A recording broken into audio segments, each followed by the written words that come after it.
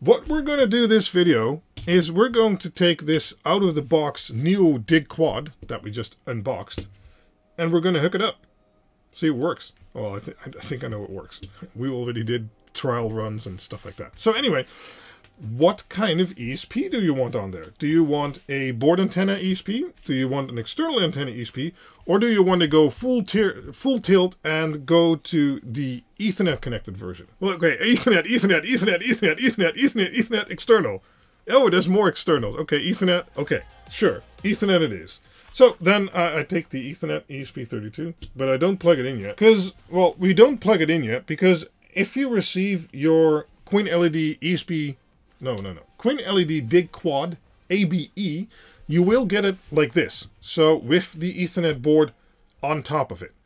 The first thing you'll want to, well, you can turn it on without anything connected, but you want to see LEDs, of course. So the first thing you want to do is basically take this top board and pull it off so you can access these screw terminals because those are the data screw terminals. Now I'm going to make my life easier I'm going to borrow some uh, some pigtail wires from here. One moment. Now this isn't a perfect analog to how you would receive the boards because if you receive the boards, they will be pre-flashed with a firmware that is already Ethernet enabled and has uh, some or all of the outputs configured. In this case, because I'm using a new ESP32 ABE board and a DIG quad, It'll have WLED on there, but not configured. So we'll do flashing and stuff like that too. So it's really a fresh start.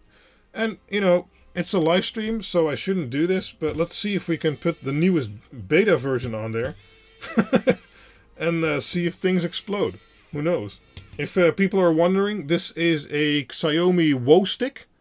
And especially for terminals like this, it's excellent. Okay, so I'm adding some of these uh, pigtails that uh, for data, for positive, and for negative. Uh, most of you will know this, but red is often positive, green with digital LEDs is mostly the data wire, and then white is the negative. Okay, let's do a second one. Now you might notice that I'm using terminals 1 here and terminal 3. The reason for that is is that terminal 1 and 2 are shared by a fuse and 2 uh, 3 and 4 are shared by a fuse.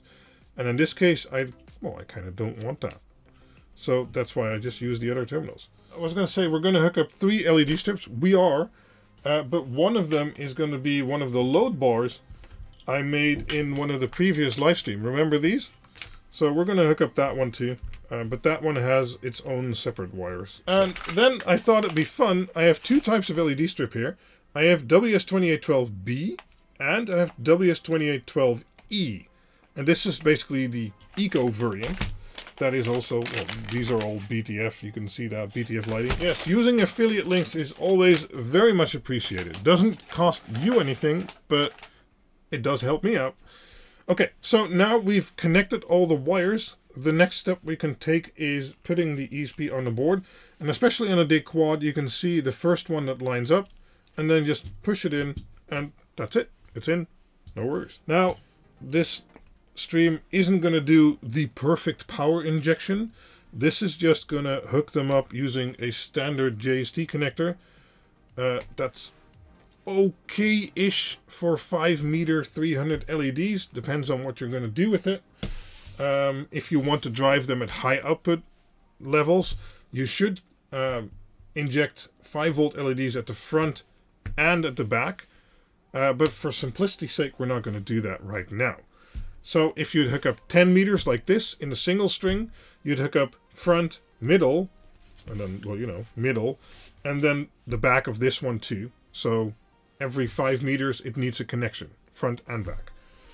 Uh, but that's for 5 volt LED. And I chose these strips because they're all kind of different uh, to show you, well, different scenarios and how to configure that in WLED in a minute. So we're hooking this up. And we're hooking that one up. And that's pretty easy. We're not going to do power injection, stuff like that. Now, I already plugged this in. I'm going to, I'm going to pull it off again because uh, as I said, I don't know which firm. Well, I do know which firmware is on here currently, but it's not configured anyway. So I thought, let's make this extra exciting and install the newest current uh, WLED beta. And we're going to take my board as Ethernet again because we wanted the newest beta. Beta. So let's just you know flash it again. Oh, okay. Uh, install WLED, please. Uh, yes. That's fine. Cool. Erasing. This will take two minutes. Interesting. Install complete. Nice. Oh, it wait. It's asking me to configure network? Okay. Well, let's do this. Yeah, it is. Okay. So, we're now connected to WLED over Wi-Fi, but we kind of want to use it over Ethernet because we have this Ethernet port here. So what we can do, we go to configure and then Wi-Fi setup. And then down here, we can select Ethernet type. And you select the QuinLED ESP32. And you hit save and connect. And well, that'll enable the Ethernet port. But then of course, I also need an Ethernet cable. So let's do that. And there we go, blinky blinky. Oh. Uh, let me try and show you. There we go we have blinking Ethernet. So if I now check my router logs, I can see that it got an IP on my local network. Let me go there. And there we go. We now have um, WLED connected over Ethernet. So using the Ethernet version is really simple. You either connect to it over Wi-Fi or either connect it to your network or as an access point. And then you go to Wi-Fi settings, you select QuinLED ESP32 Ethernet version, and that's it. Ethernet becomes active, and you can access it, and you got 100% signal strength. that's always good. Okay, so let's turn this off, because we're still connected to USB. Uh, let's put it on the board. And make sure to line up the pins so that you're not one pin off, basically. But should be pretty, pretty easily. It only goes in, well, I guess it goes in multiple ways, but don't, don't try that. Uh, and then we need power. Uh, as a power supply, we're going to be using a 5 volt power supply because your power supply, well, let me let me do this on the face cam. The voltage of your power supply always needs to match the voltage of your LEDs. So in this case, we're using SK6812 and two types of WS2812B. Those are all 5 volt LEDs, so you need to have a 5 volt power supply. If you have 12 volt LEDs, you need a 12 volt power supply. And if you have 24 volt LEDs, like I did a recent video on, you need a 24 volt power supply. Now there is an exception if you're using a 24 volt power supply and then 5 volt buck converters later down the line, you can use a 24 volt power supply with 5 volt LEDs, but the board isn't going to do that for you. You need external buck converters that are actually bigger than the board to do that. So power volt voltage in is always voltage out. This uh, behemoth from uh, Meanwell, and this is a UHP 505, and that can do 80 amps at 5 volt. now, that's an insane amount, and it's more than I'd actually recommend running through the board. Um, but, you know, we've been testing with it, and it's an excellent power supply. Kind of expensive. That one power supply is about 100 bucks. But it is a 500 or 400 watt power supply that is passively cooled. So, kind of see why it's worth the price. And it has an active PFC, and it's an awesome power supply. Okay, let's uh, let's move this Ethernet cable out of the way while we, you know, add the power cables. So the terminals now don't have a color anymore, but the positions are the same. This is positive. This is negative. Don't reverse it. Well, actually, you can reverse it. Nothing should happen because there's protection circuits for that. But I'd still rather you didn't.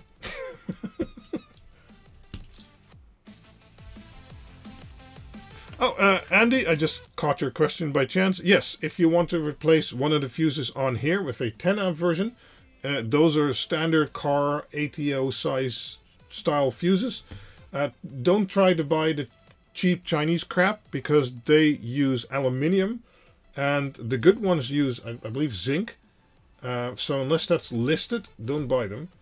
Uh, and then, yes, you, you're allowed to you, uh, go up to 10 amps uh, for a single fuse socket and or for a single terminal.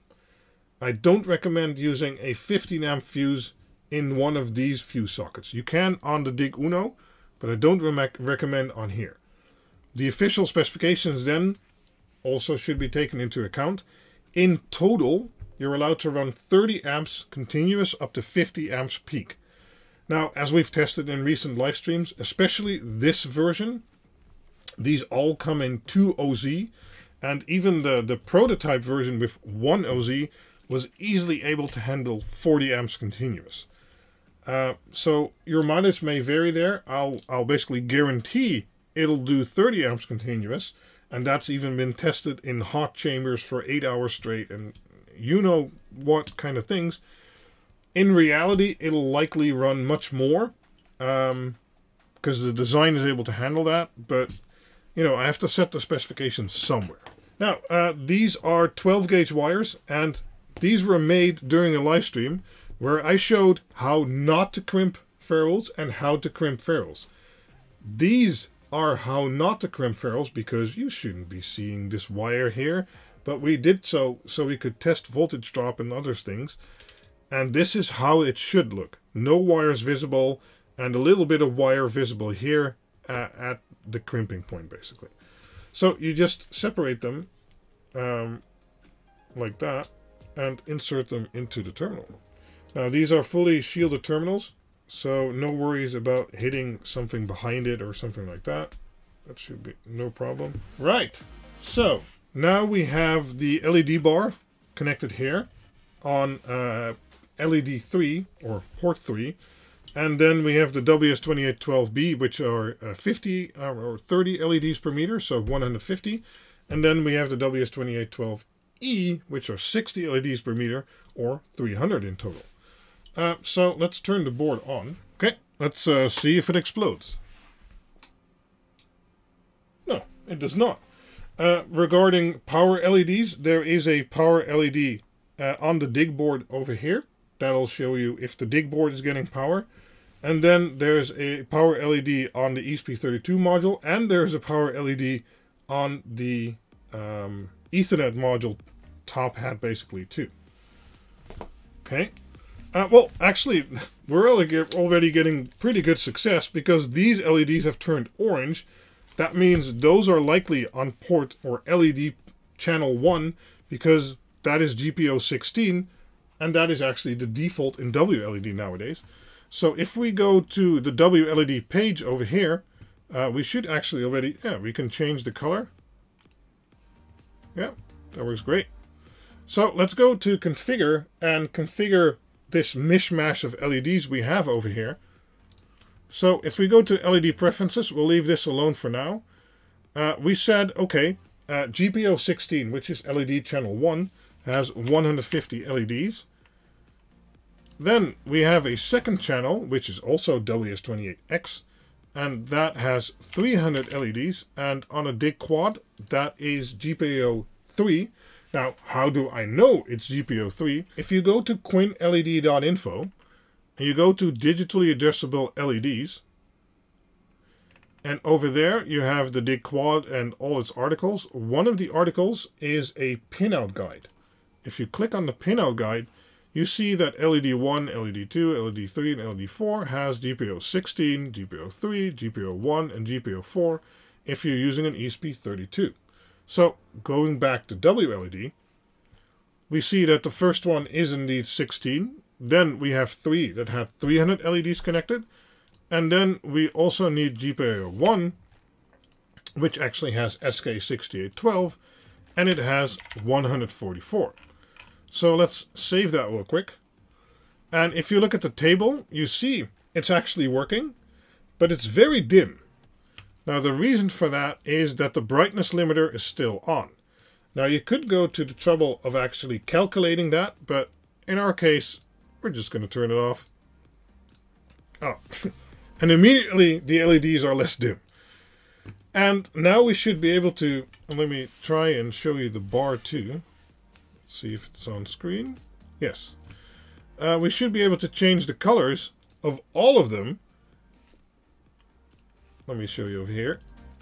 And all of them should change at the same time. Cool. So that's a very basic configuration of a dig quad. Uh, there we go. But still, we have 150 LEDs here, we have 300 LEDs here, and 144 LEDs here, all running through a D quad, and that looks fine. Let's see if we can do an effect, basically. Uh, I like the Paletti effect, for instance. Yeah. That's working great. But then, now, all of these are acting like they're one big LED string. And well, likely in this scenario, you wouldn't want that because, well, this more looks like three LED strings than one. And let's go here. Uh, where was it again? Make a segment for each output. Right. Save. You have to reboot. Let's reboot. Reboot. Think. Right. Oh, cool. So we rebooted, and now we do indeed have three segments, which correspond to to our three outputs.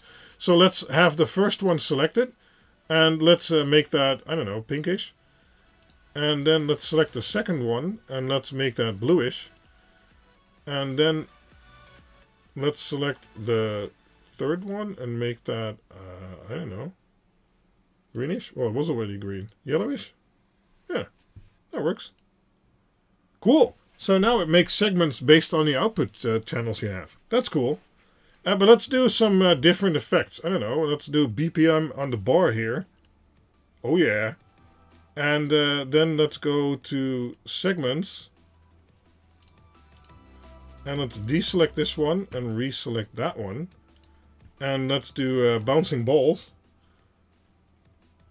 Or no, that's that's boring. This one, uh, boring too. Yes, nice. And then let's deselect this one and select that one. And let's do Fireworks 1D. Cool. So now we have three LED strips connected. Three different types actually. 150 LEDs, 300 LEDs, RGBW SK, SK6812. They are all 5 volt. And they're all doing their own thing over Ethernet on a single board. Hey,